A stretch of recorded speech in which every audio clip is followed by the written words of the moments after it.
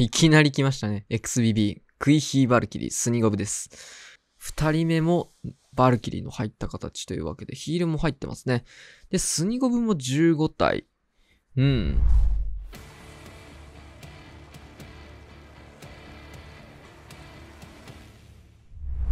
チキラとムジタ14です。今回はクラッシュマスターズから最後の動画ですね。クイーンウォーカズベース。これちょっと韓国、あ、じゃない、いや、中国のあれなんで読めないと思うんですが、X チームと。まあ、対戦相手の名前にね、X チームとみんなつけてくれてるので、すごくわかりやすいですね。X チームという対戦相手になっております。まあ、今回の、まあ、これで言うと一番上に出てる XBB って人は結構、いろんななんか、いろんななんかちょっと楽しい編成をする人で、ヒーラー10体の編成を結構好んでずっと使ってたりとか、まあ割とね、変なアタックをすることで有名だったりするし、まあ実際にドイツに来てた時もなんかクイーンオカーズのこと好きだったみたいで、あの、空港とかでもあってね、ああ、クイーンオカーズじゃないか、握手してくれ、写真撮ってくれ、みたいな感じでね、いつも見てます、みたいな、ファンです、みたいなね。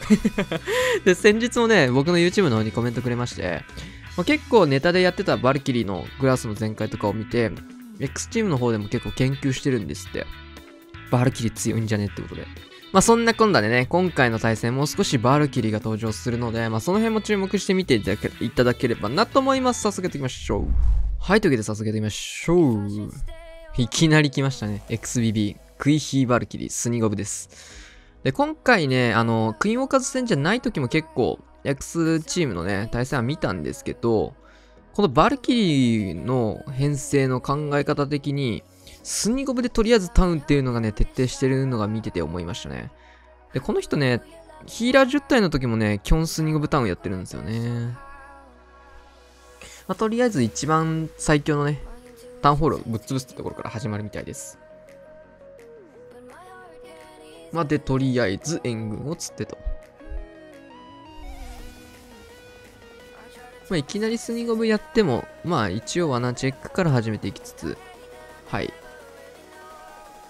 まあ、いろいろやっちゃうとね、まあ、イーグル砲も稼働とかもあると思うんですけど、まあ、この援軍処理中っていうのは結構ね、楽なんで、空飛に目離していい時間なので、その隙にとりあえずタウンホールを破壊していって、ウォールブレーカーは6時の方も繋いでいって、そうなるとやっぱりイーグル砲は起動してしまいますね。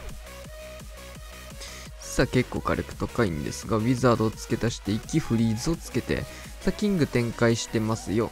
さあバルキリーをドドドドと。さあオールブレーカーもう1枚出してクイーンの抜け道を作ってあげるような工夫してますね。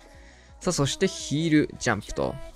まあ、この人は結構、このチームは結構ね、クイヒーバルキリーで天才型ではなくて、呪文をふんだんに使っていく形なんですけど、やっぱヒールが強いっすね。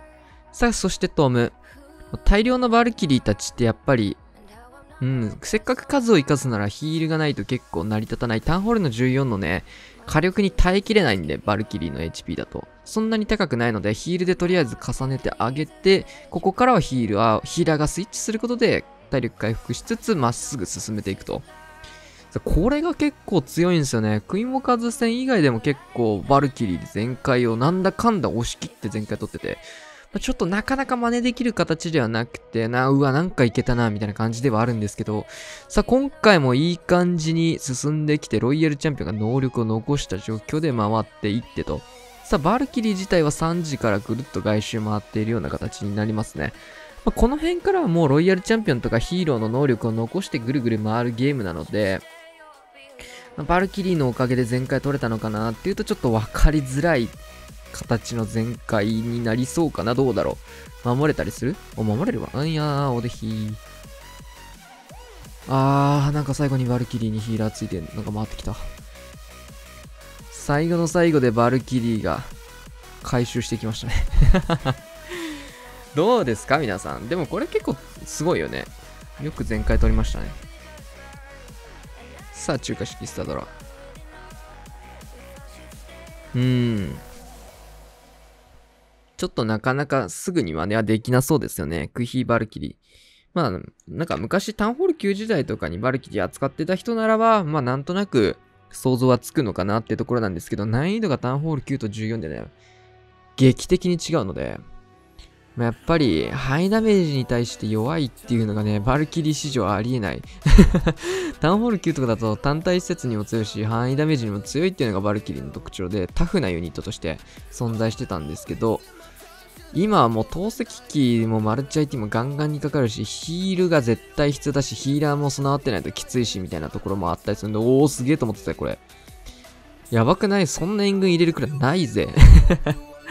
大量のロケバルと普通のバルーンが入ってるということで。これめちゃくちゃ美味しいっすね。普通の、この中華式でこの援軍引けたらめちゃめちゃ美味しいっすね。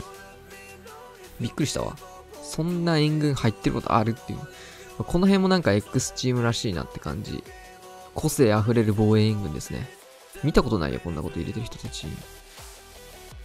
初めて当たったね、この援軍入れてるクランに。さあ、フィストを使って投石機を破壊していきつつ、しっかりトームかかってますね。中心部は貫いていって、この隙にヒーラーがスイッチしてくれています。さあ、マルチにも打たれてたんですけど、しっかりとトームが入ってたので、大丈夫と。さあ、中心ガンガンに引っ張られてますね。完璧だ。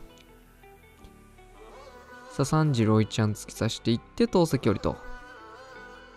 うん、インビジブルな隠していって、強すぎる。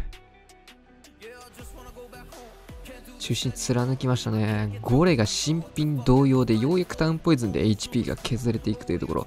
しかも時間もまだ1分あるというところで。これはめちゃめちゃ貫きましたね。うん、一直線。これは一直線すぎた。綺麗ですね。さあ、ラストフリーズをかけていって、ゴーレムがまだ破裂せずにここまで頑張ってくれていたようです。さあ、ラストクロックを放って終了と。ガーソス。さあ、デンデンさん。二人目もバルキリーに入った形というわけで、ヒールも入ってますね。で、スニゴブも15体。うん。これはちょっと近いものがありますが、今回はオデヒーからのスタートということで、オデヒー、クイヒー両方いけるのがこの編成の強みですよ、皆さん。さあ、ここスニゴベやったんですけど、これまで頭入れてたのかな、ちゃんと。援軍釣れるんですよね。一応ポイズン2枚釣れてきてるけど。この隙になんかどうせ援軍釣るなら全部釣っちゃった方がいいと思うからパッパとやった方が良かったと思うんだけど。なんか頭になさそうなんだよな、これわかんないけど。さあ、援軍はこれで全部釣り切れましたね。さあ、ただ、いろいろ発生してちょっとスニゴムパートはぐだっております。さあ、クイーンまで追加して、これ突撃艦マルチの方に投げ込んでいくという。うーん。どういうプランだったんだろうこれ本当はオーデンで降りたかったと思うけどね、この、マルチ。おでひでおるつもりだったと思うんだけどな。援軍が出てくんの抜けてた気がするけどな。これはさすがに。そしてこのキング逆走だと思いますね。カットの仕方的に。内側に入ってしまったと。さあ、遅れてバルキリーもしっかり中央を進めていきつつ、いや、スニゴムがね、これ結構ヤンキーだったんだよね。金庫にそれたので、もう最終、スニゴムね、多分に、もう直出しでバンティックしかないという状況になってて、さあ、ウォーデンとクイーンがなかなか足止め食らっているので、進めないんですが、まずはヒールフリーズで延命をしていくと。さあ、ここでようやく追いついていきますが、うーん、どうなんでしょうね。バルキリーは仕事をしていたんでしょうか。まあ、一応キングと一緒にガーって進んだところ、あ、まだトームがある。食い火やんけ、もうこれ。うん。おでひでおるつもりだったよね。突撃艦どっか残す予定だったのかな。さあ、ここまで温存していたトーム、ここでようやく出していって、これ強いね。さあ、ロイヤルチャンピオンもシングルインフェルノのラッシーがターゲット取ってくれてるので、突破できつつ、クイーンはいい壁殴ってます。いやー。さあ、ここでクローク。あ、ちょっと思ったのがね、バルキーってやっぱ時間切れになりにくいよね。使う人いないと思うんであれだと思うんですけど。それは思った。他の対戦でもそうだったんだけど、結構まあこういう展開でも、特にタウンスニゴブって結構時間使っちゃう戦術なんだけど、進みが早いんで、時間切れにはなりづらいのかなって見てて思いました。バルキリーで星6です。すごくないですか ?2 連続でバルキリーを使ってきて全開を取られ続けてるというところで、まあ、X チームというチームが割と特殊なチームだというのがこれだけでも伝わるかなと思いますが。さあ、ホッサン。トツウィズラバルですね。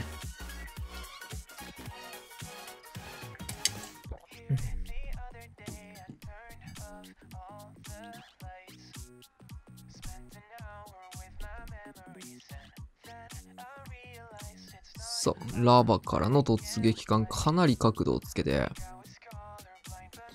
1マス空きの通路に投げたい形だと思うんですけど、届くでしょうか？安い。吹かれていって、届いていく。まあ、レジェンド陣だとは思うので、普段攻めてる。あ、そうだね、これ。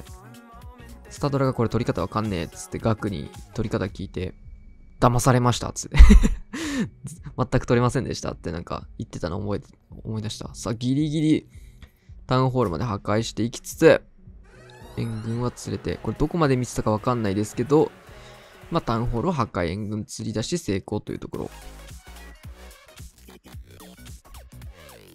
アーチャーでまずは援軍を釣っていきます。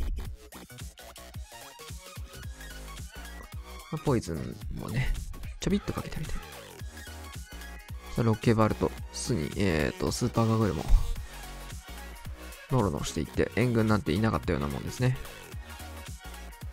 さあ、ベビドラでサイドカット、アイゴレ追加、キングも追加。アイゴレはバネで飛んでいってしまいました。さあ、ベビーがクイーンのターゲットを引き受けてくれたので、少しここは被弾を抑えられつつ、キングはそちらの方向へ進んでいって、ロイヤルチャンピオンを投石区画へ。このロイちゃん強いな。3下が5 1投げときたいですね。っていうのがめっちゃ気になる。さあ、ロイヤルチャンピオンは投石を突破していって、ラバルパートも進んでいます。さあ、クロックを使ってマルチを早めに降りつつ、ラバとストライカーをここ後追いで出していって、ラバにもトームかけていく。これ対空砲結構内側にあるんですね。内側にあるので、もうここで一気にラバトームで突破していきたいというところ。さあ、フリーズもまだ3発ありますよ。さあ、エアスに吹かれてなかなか対空砲に寄ることができず、ラバが回ってこないんですが、それを見て6時側からも単体バルーン回り込むような展開を作っていきますが、結構バルーンが落とされ始めている。さあ、ラバがここで追いつくことができるでしょうか。ヘイストによって、対空砲の目の前へ乗ってきてくれて、これはなんとか、破壊できそうですが、ここで見えてくるのが12時角テスラが見えています。さあ、12時角テスラに気づきました。これはどうでしょうね。間に合うかというところ。さあ、シングルインフェルノで、そこそこバルーンは落とされていって、残ったバルーンは1体。さあ、ただ大量のガーオイルが向かっていて、残り10秒ちょい。罠があるかどうかも変わりますが、ここはどうでしょうか残り876といって、これはガーゴイルで回収しての前回が危なかったですね。さあ、ディオフグ。まあ、バルキリーだけではなくて、普通の編成もやるようですね。困りました。タウンクイヒですかね。お、ホーミング引っ込めて。テスラは起こしていきましたか。さあ、ボールブレカ。まずは1層。さあ、2度目のホーミングチェックを投げていきつつ、ボールブレーカー2回目。援軍がちょっと釣れる。さあ、ロケバル展開。どうだ？うわー、これユニコーン一瞬投げたな。おー、インビジブル。それは援軍流れるけど大丈夫かな？ズルじゃん、それ。ただこれトルネードによってヒーラーがどんどん吸い込まれてって、これは地獄の展開を生むか？地獄、おまあまあまあまあまあまあまあ、ポイズン浸かるのでね、チャラにしてあげましょう。早く進めそれ、クイーンの範囲内入れ。うーん、ポイズンを使ったんですが、あ、クイーン来た。フリーズ見えてますね。リガホグ展開中にフリーズ結構忙しいと思うんですけど。わ、やばわな。すげえ罠出てきた。さあ、陸助大量バネ大量。おー、一気の小爆弾連打。強。あー、火爆連打でヒーラーが全滅。やば。やばいこと起きてるな。あー、かわいそう。いじめじゃん、こんな。さあ、クロック。うおー、しっかり打った。さあ、ここでトームをかけていきますが、中心マルチになかなかユニット寄らないですね。さあ、残りヒールは1枚のみ。食い火がもうここで死んだので、最終区画まで伸ばせるか。ヒールがないんでね、ヒールフリーズなしで最終投石まで突破しなきゃいけないのと、シングルインフェルノもあるんでね、そこまでにロイヤルチャンピオンの縦ユニットをなくしてはいけないというところ。両立できるでしょうか？それがなくては前回を取ることができません。さあ、まずはロイヤルチャンピオンの縦ユニットというところではできず、ここはホグが間に合いませんでしたね。さようなら。さあ、そうなると最後の透析区画を突破できるホグロイちゃんがいないという展開になるので、ここは食い火落としたところでターゲット取られず良かったですね。これクイーン生きてたらね、この後、まあ、4時側の防衛説切って投石のタゲ取りつつ投石の壁殴るか、まあ、外周殴るかみたいな感じで、ね。結局投石のタゲって取られてたと思うんですけど、あれ？嘘でしょ？これ行かれる？もしかして。おや？マジ？これで行かれることある？そんなことある？え？いや？金庫？やば、え、マジ？強すぎだろ、それはディガフグ。そんなことがあってはいけないぞ。さあ、ウォーデンうわ、危ない。危ないですね。さあ、先ほどいい防衛を見せたガクから。クイヒーラバル。さあ、スニーゴブサイドカット入れつつ、ウィザードもサイドカット。バルーンは迫撃とラボにかかるように出すことで、両方の施設を削っていくとうまいですね、ここも。さあ、そしてこっちはホーミングチェック用のバルーンを投げていきます。さあ、スニゴブをくじ側下切っていきつつ、レイジをかけていって、いい誘導ですね。1マス空いてるんですが、ここに誘導していって、さあ、9時にキングを入れていくと。さあ、マルチインフェルノもしっかり横打ち。ここをね、しっかり施設をカットしてることによって綺麗に入っていることで、誘導できていると。さあ、一度9時対空砲の下を開けていきつつ、タウンホールに向けて2枚目のオールブレーカーがやってきます。強。さあ、誘導できました。さあ、インビジブルかけて一度 HP を回復しつつ、ここはボマーで投石機の下に潜らせていく3段。ここで援軍処理を重ねてやっていきますが、クロスボ、対1クロス4が降り注ぎますね。えぐい。ダブルフリーズかけないとこれはクイーン死ぬんじゃねぐらいの勢い。エアスイまで引いてますね。えぐいな、クイーンへの火力が。さあ、援軍アーチャーがぐるぐる回ってここは死んでしまい、ここでトム。さあ、これは、クイーン処理がまだできてないですからね。さあ、対空砲にまずはフリーズを打っていって、ストライカーはキングに座れてしまっているので、ロイヤル、えー、クイーンの処理がなかなかできませんが、今回援軍に選んだのは、ドラゴンというところでね、ドラゴンライダーではなく、ドラゴンがクイーンの真上に潜り込んでいって、なんとかクイーン処理をかわしていって、さあ、残り時間は1分なんですが、バルーンがどんどん落ち始めている。さあ、ドラゴン採用がこれは強い。最後のマルチ IT もドラゴンが押し切ってくれてと。さあ、ウォールブレーカー1枚余ってますが、ここはバルーンが全滅。つい。これはしんどいですね。ただ時間が結構早めに始めたことによってまだ残ってますね。さあ、これはウォーデンプラスオールで押し切れるかどうかというところ。さあ、6時側からストライカーで回収が入りつつ、ドラゴンとこれはオールで回収最後進めていきます。12時区画の方にはウィザードも巻かれていって、なんだかんだでこれは押し切っていけそうな展開を作ることができて、さあ、時間もギリギリですが間に合いますね。ここでドラゴン潰れますが、アーチャータワーを押し切っていって全開と取り切りました。いや、でかいですね。99%からのギリギリの100%によってリードを取ることができて、いや、でかいリードですよ、これは。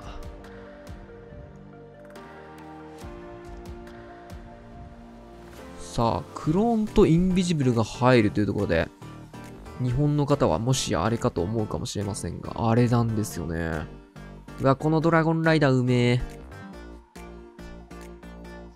キングのイーグル折りをサポートするようなドラゴンライダーにもなっていきつつ、これはウィズ島もサイドカットになっていきますね。あそこら辺が対ほど対1クロスしかないというところで、うまいですね、これ。若干9時のサイドカット間に合ってないかな。さあ、ここはかなり膨らむようにしていって、突撃艦も添えつつ、ここはギリギリでトームをかけていきます。さあ、ギリギリでトームをかけていって、この突撃感はどこまでなんでしょうか。さあ、ここで落としていって、インビジブル。エアスに吹かれなかったのも偉いですね。エアスに吹かれる前にインビジブルかけて、ここでクローン。花火です。日本クラン以外でこの花火を使うのはなかなか珍しいなって感じなんですけど、さ、タウンホールだったり、タウンホール付近にあった防衛室が全て吹っ飛ばされていきましたが、ヒーローパートがなんか潰れてますね。上側完全にぶっ潰されています。さあ、ロイヤルチャンピオン手元にあるんですが、ラバハウンドがこれは防衛で出てきているのでかなりきつそう。中心テスラ強っ。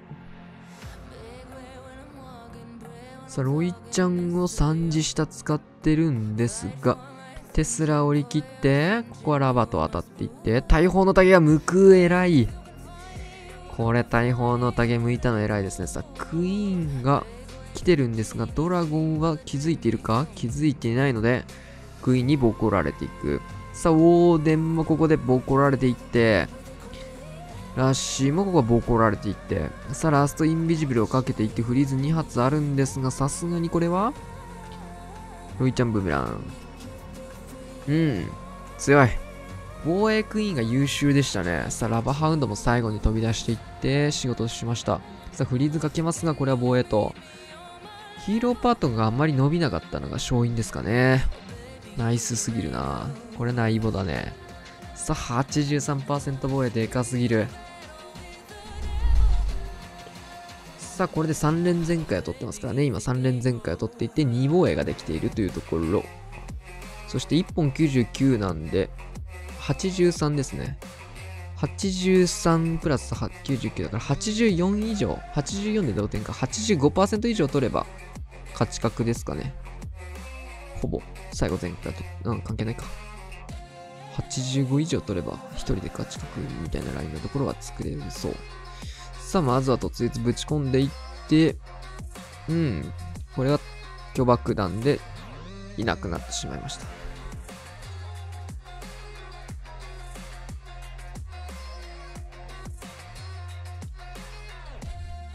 これどういうバルーンだったんだろうな。やっぱり3時に援軍釣り替えていきましたね。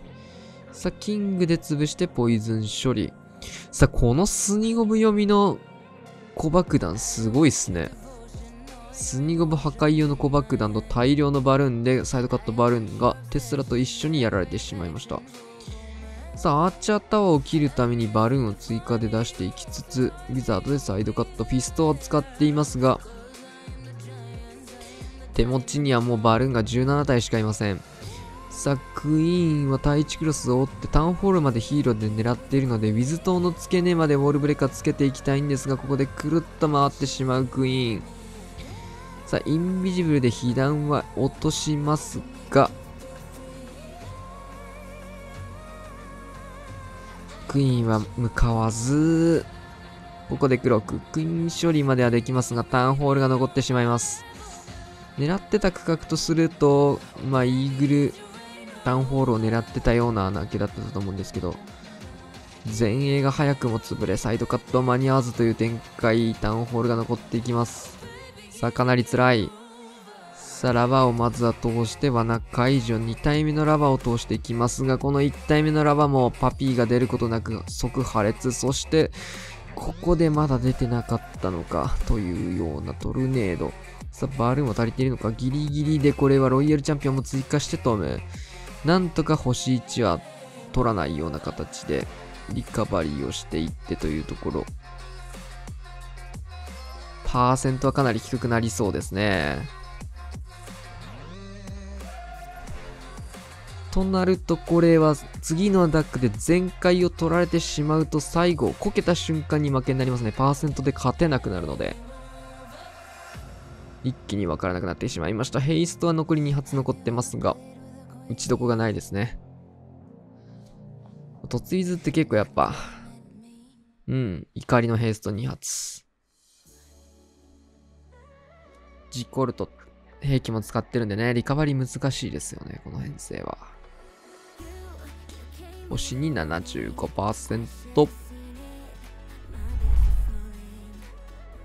さあ。ラストアタックかな？スーパーボーラー。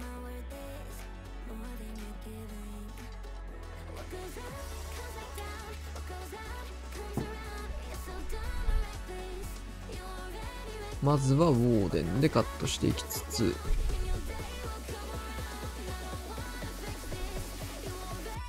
お、アーチャーターンまで切りに行きましたね。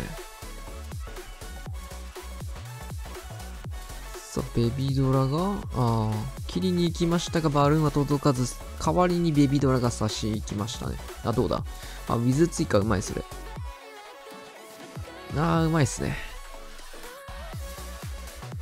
まあ、安い吹くのがちょっと誤算だったっぽいですね。ただ、臨機応変にウィザード差し込んでのリカバリー。さあ、まずは一層ウォールブレーカー。おー。10日弊社でこれタウンホール見てますか？10日弊社6時から入れつつ、サイドカットが済んでおります。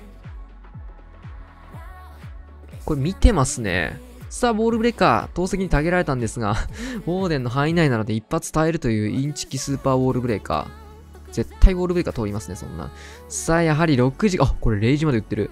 さあ、レイジフリーズでタウンホール投下兵舎で追っていきます。なるほど。さあ、そして中心ジャンプ、スーパーボーラーたち進んでいって、このトーム。この投下兵舎の使い方確かにうまいですね。さあ、ただ遅れてきたイエティがポイズンダイブするだけになってしまいました。さあ、中心どうでしょうね。これは結構ユニット、んどうだ？一気に今のイーグルでスーパーボーラー潰れていきましたね。ヒーラーがスイッチしないってなるとやっぱ痛いですね。キングをサイドカットじゃなくこういう使い方したのでヒーラーが今回はクイーンにくっつきつつ、キングにくっつきつつでバラバラしたのかな。さあ、スーパーボーラー完全に離れてしまいましたね。キングと一緒に進めたことで進行速度も変わり、ヒーラーのターゲットもちょっと奪うような形になっちゃったのかな。うーん、これは守れそうかな、さすがに。さあ、ロイヤルチャンピオンがここでようやく突っ込んでいくような形になりましたが、能力もうないですから、あ、キングゴールしちゃった。さすがにこれはマルチの強さがここから出ますよ。ここでマルチ IT の強さが出ますよ。これはかなりターゲットぶらしていって、一気にバーバリアンを勝利していって、どんどんユニット消えて、イーグルはそっちかい。これはマルチの強さ出ましたね。さあ、マルチからのキングで、これクロークのアーチャーも全て吹き飛ぶんでね。クロークが終わった後のクイーンに大量の防衛説のタギが向くと。これによって星2を取った瞬間、勝ち角という状況になりました。いい防衛です。いや、面白い10日ヘジの使い方でしたね。まあ、X チームというのは、まあなんか、特殊な攻めが多かったりするので、結構見てて楽しいクランの一つですね。いいアタックでしたが防衛です。さあ、ラストアタック。11対12なので、星2を取った瞬間、勝ちかクックヒール暴る。この日はね、別の対戦が直前にありまして、てかこの日トータルで試合何試合やったんだっけな ?6 試合か7試合ぐらいやった気がする。うん？決勝2試合でしょ？で、準決1試合？嘘ですね。4試合ですね。トータルで6試合、7試合か2日で。すごい嘘つきましたね。なんとね、これ1個前に、1時間ぐらい前かな。全く同じ入っちゃったんですよ。で、俺前回取ったんだよ。同じ配置、次の対戦相手が出してくるわけよ。すごい困っちゃって、どうしようかなって。うん。で、その対戦はちょっとね、5人しか入れないっていうクソルールだったんで、対戦、あの、撮影赤を入れることができなかったので、ないんですけど、うギリギリちょっと攻め方変えました。まあ、大筋一緒なんですけど、ちょっと変えましたね。対策されても最悪それを見て対策してる可能性もありというところもあるので、まあ、若干食い火の入りを変えていますが、入れたルートは一緒。キングの使い方は逆。最初は3時からこの区画に入れてったんですが、逆に変えてみました。ダウンや突撃艦と。さあ、これすごくいいルート入りましたよ。さあ、レイジをかけることで、クイーンの方でクイーンを取りたかったということですね。はい、完璧。ああ、完璧。さあ、ウォールブレーカー出したんですが、これは奥の金庫まで開けるための布石、もう一度ウォールブレーカーをかけていって、さあ、援軍いってらっしゃいと、ポイズンをかけていきつつ、フリーズ。これ、ロイちゃん使い方マジで迷ったんだよな下から出してイーグルオニーっても強かったと思うんだよな。ただ、ラバルのルートカットに使っていきましたね。で、ここは後追いラバストライカー出していって、ここでトームでラバストトーム。うん、ロイヤルチャンピオン結果的にこうやってルート整備で働いてくれたので、まあラバルとしてはいいルート整備ではあったんですけど、さあ、イーグル砲がね、これね、フリーズ見えてなかったんよ。イーグルフリーズしてえなってずっと思ってたのに、イーグル、じゃあね、俺フリーズ持ってたんよ、手元に。うわ、あったんかいって後で気づいて、これミスったな、マジで。フリーズあることにまだ気づいてなく、キングと当たったので速攻で黒く打ちました。まあ、あとはもう回収だけなんでね。さあ、ラスト。うわ、あったんかいフリーズを打っていって、あとは回収をしていって、ヒーラーがなんかラッシュの方に飛んできました。ギグルまだ攻撃来てるし。危な。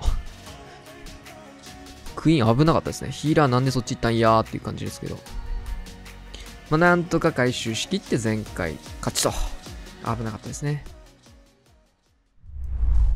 はい、というわけで今回は軍用風 VSX チームという対戦でした。まあ、バルキリーでね、2連全開を食らうという特殊な全開をね、いきなり決めされ、決められていって、まあ、それ以前も結構ヒーラー10体の編成をやってみたりとか、なかなか面白いクランでね、結構楽しいクランなんですよ。まあ僕らとしてはまあなかなか対策しづらいクランなので、結構 X チームって波が激しくて、このクラッシュマスターズはね、この X チームが ATA の15点パーフェクト勝ちして勝ち上がってきてるので、なんか出てきた入れ物クランっていうよりは普通に強い時マジで強いんですよ、こいつら。マジで強いんですよ、強い時。まあ、今回はちょっと不発に終わりましたが、まあ、99%のアタックもあったりとか、まあ、東海エイジャでタウンホール取りに行きたいとかね、まあ、なかなか面白い発想を見せてくれるチームの一つかなと思ってます。これを勝ち上がったので、このクラッシュマスターズ優勝することができましたと。まあ、なかなか強いチームなんですけどね。まあ、ちょっと最近またバルキリーの動画が上がり続けてることになるのかもしれませんが、あ、違う、ここから続くのかな？まあ、バルキリーのアタックがここからまたいくつか前回続くので、まあ、バルキリーのガチ戦投入っていうのをちょっと皆さん 試してみてください。結構騙されたと思って騙されてみてください。結構強いです。うん。まあね、やり方間違えると騙されたっつって大事故になるんでね。まあそこだけ自己責任でよろしくお願いします。というわけで今回はこんな感じで終わると思います。チャンネル登録お願いします。